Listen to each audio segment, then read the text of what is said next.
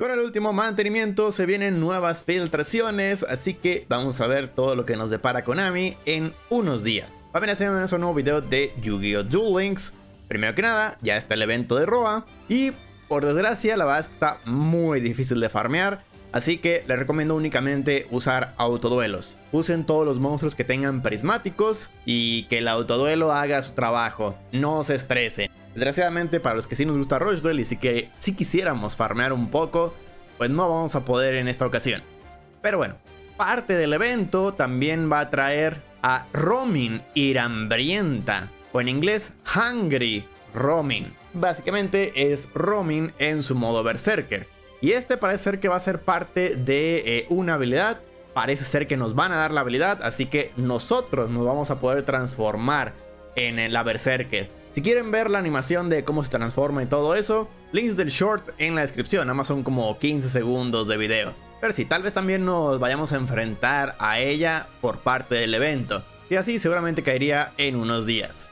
También tenemos ya las primeras imágenes del personaje de Otes. Eh, aquí no tiene ni nariz ni boca porque pues está por separado y me dio a ponerle, pero bueno, la verdad es que da igual porque no hay ojos, entonces no se ve tan raro.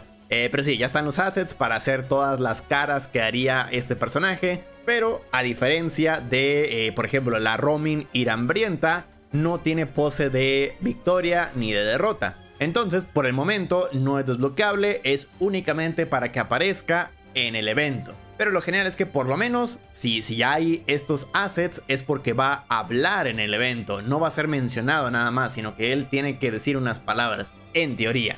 Pero sí, esperemos que luego ya Konami ponga al personaje como desbloqueable. Yo creo que sí, digo, no creo que lo desperdicien. Luego, el día de hoy por la noche, nos pasamos al desbloqueo del personaje de Roa, el cual ya sabemos que va a traer algunas cuantas cartas por su de nivel. Desgraciadamente nada más son 3, pero no sabemos cuántas copias exactamente nos va a dar. Normalmente dan 6 cartas en total, eso quiere decir, generalmente dan 3 cartas, 2 copias de cada una pero en algunas ocasiones da nada más una sola copia. Por ejemplo, Mimi dio dos copias de cada una de las vanilas y una sola copia de dos cartas URs diferentes. Creo que es la única que dio cuatro cartas, pero bueno. En esta ocasión para Roa tenemos un monstruo vanilla, ya sabemos que siempre dan un monstruo vanilla y este es de los más importantes para el deck ya que es un monstruo nivel 1 demonio.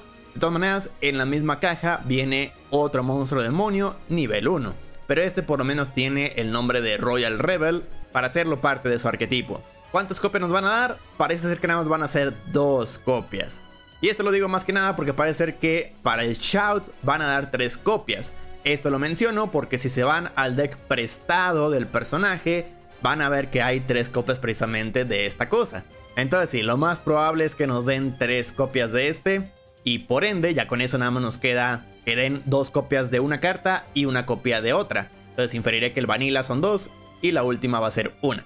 Vale, ¿qué es lo que hace este güey? Si su oponente tiene un monstruo de nivel 7 o mayor boca arriba en el campo, envía una carta desde la mano al cementerio y podemos enviar dos cartas al azar de la mano del oponente al cementerio. Esto la verdad es que no está tan guau, simplemente vamos a obligar al oponente a robar más cartas en su turno. Tal vez sea útil para una estrategia de deck out. Pero bueno, mientras no tengamos destrucción de cartas, pues la verdad es que da un poco igual. Y la última carta, la UR, la que predije que iban a dar una copia y que lo más probable es que si den solamente una copia, es la Majestad del Rey. Cuando tu oponente declara un ataque, podemos barajar un monstruo de nivel 1 demonio normal desde el cementerio al deck, que es el vanilla que acabamos de ver. Y ya con eso se activa el efecto de negar el ataque. Entonces, muy buena. Pero también recuerden, en la caja vienen más cartas que pueden negar ataques, así que Tal vez si hubieran podido dar un poco más copias de esta cosa. Pero bueno, habrá que esperar a ver si realmente dan solamente una copia.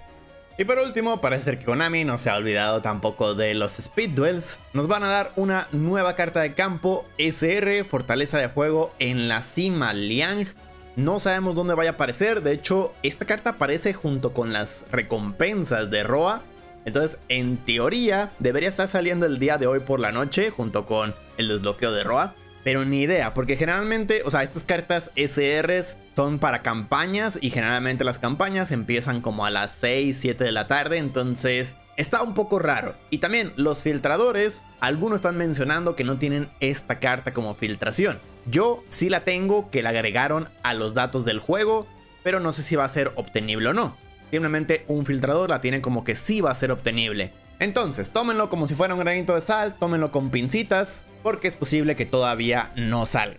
Pero bueno, siento que ven apropiado por la última caja que salió, ya que es una carta para los Fire Fist. Pero bueno, sé que el texto está muy pequeño. Yo creo que ya nos tenemos que acostumbrar a que siempre los textos de Speed Duel van a estar demasiado pequeños. Pero bueno, Fortaleza de Fuego en la cima Liang.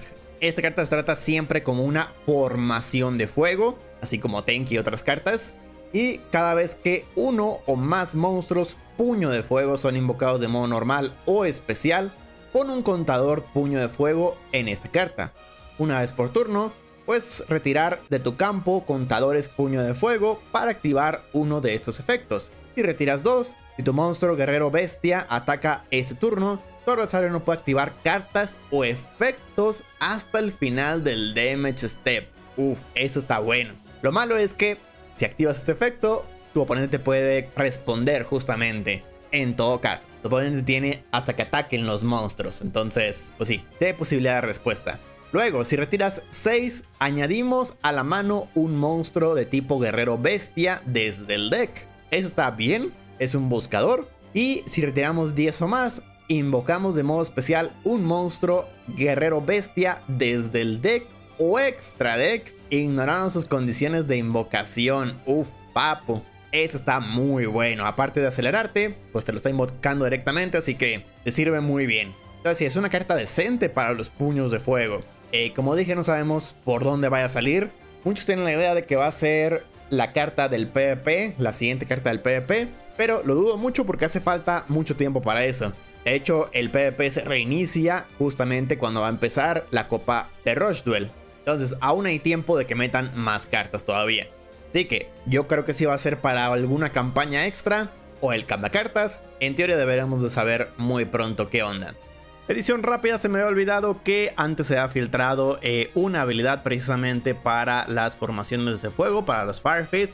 Por lo tanto, pues sí, tiene mucho sentido que estén agregando también otra carta. Entonces sí es posible que el día de hoy por la noche agreguen tanto la habilidad como la carta, yo creo que en el cambia cartas. Pero bueno, vamos a ver qué hace Konami. Como dije, no sabemos exactamente cómo vayan a dar las cosas y no sabemos cuándo lo vayan a hacer.